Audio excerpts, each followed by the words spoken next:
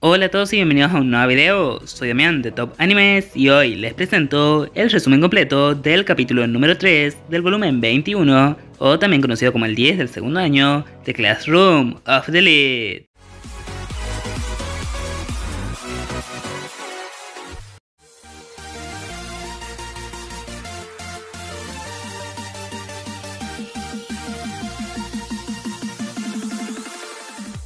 El capítulo comienza el viernes después de las clases, cuando Mi-chan pide hablar un momento a Kiyotaka acerca de la vez que dejó de ir a clases y alguien le dejaba comida constantemente, pues cree que investigando un poco puede descubrir quién era el que lo hacía. Y si bien no podía hacerlo mediante la letra del papel que le dejaban con su número de habitación, pues estaba escrito artificialmente, sí podía hacerlo mediante las cosas compradas así que fue a la tienda de conveniencia en la que se compraron y preguntó quién lo hizo. Pero la persona que vendió esos elementos había sido transferida antes de que Mi-chan llegara a preguntar. Eso fue hace varios meses, pero recientemente la empleada de la tienda la reconoció y fue a decirle el nombre de la persona que estaba buscando, pues tuvo la oportunidad de encontrarse con el empleado transferido y recordando la pregunta de Mi-chan de tiempo atrás, investigó a quién se la había vendido. Pero como esto tomó por sorpresa a la joven, salió huyendo y no por poco tiempo, sino que durante 6 días no volvió a la tienda. Aún así, quiere saber quién es, pues posiblemente sea alguien de su clase, ya que no tiene contactos en otras, aunque a Kouji le hace ver que esa no es la única opción.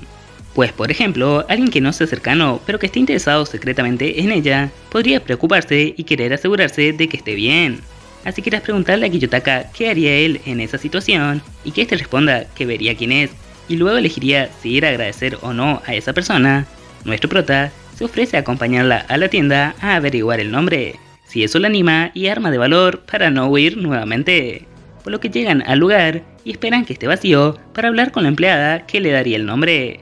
Aunque antes de que le diga quién es, tiene un pequeño malentendido creyendo que Mei y Kiyo son novios algo que como la joven niega rotundamente hace sentir mal a nuestro prota, incluso si no siente nada por ella. Pero tras eso les cuenta que ella descubrió el nombre, pues del ex empleado solo tuvo una descripción, pero al ser alguien tan peculiar solo podía ser uno, Rokusuke Kowenji, algo que sorprende a nuestros protas. Pero como es Kowenji, Ayano Kouji piensa que estaría bien si Michan no le agradece, aunque no es algo que la chica quiera aceptar, pues piensa que todo lo que le dieron costó mucho dinero por lo que le quiere agradecer a Kowenji comprándole algo. Así que el prota le menciona que estaría bien si es algo de un valor cercano a la mitad de lo gastado, para mostrar su buena intención, tras lo que por petición de la joven quieren ir al día siguiente juntos a ver a nuestro rubio narcisista favorito para entregarle el regalo. Y aunque Mi-chan ni siquiera sabía el teléfono de Kowenji o quedó en reunirse con él, Ayer Kouji salvó la situación al recordar que los sábados a la mañana Kowenji suele estar en el gimnasio, así que van allí para encontrarlo y efectivamente se encontraba entrenando en el lugar. Así que ambos esperaron fuera del gimnasio a que Rokusuke se retirara. Y si bien no hablaron mucho, sí se mencionó el regalo que preparó Wang para Kowenji, siendo una toalla de cara y otra para las manos de muy alta calidad, demostrando que no pudo seguir el consejo de Kiyotaka ya que gastó muchos puntos privados. Pero dejando eso de lado, cuando finalmente vieron a su compañero, la chica lo llamó y le pidió que le dé un momento para hablar, aunque el rubio se negó y simplemente se alejó.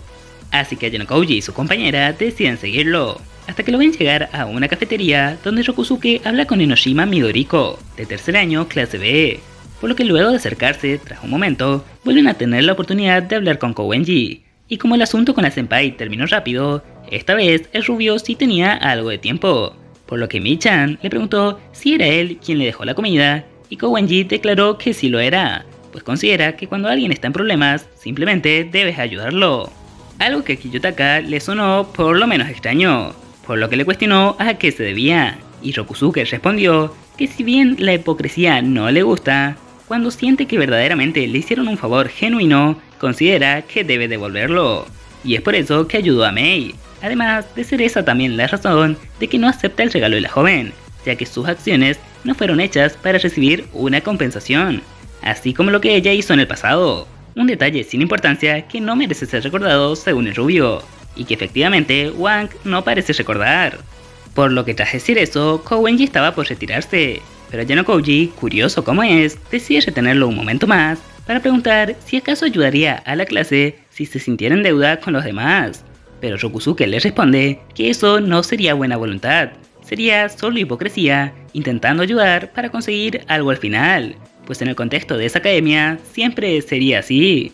Algo que lleva a Kiyotaka a mencionar qué pasaría si Horikita no lo protegiese, pero su compañero le corrige diciendo que siempre es el mismo quien se protege, por lo que esto hace que Ayano Kouji piense en Kowenji como un adorno inútil, que si él estuviera al mando decidiría eliminar. Pero como si fuera capaz de leer la mente, Shokusuke declara que si alguien piensa deshacerse de él, tendrá que estar preparado para ello. Aunque por supuesto, Ayano Kouji no es de los que se achican, y le cuestiona cómo es que afrontaría eso.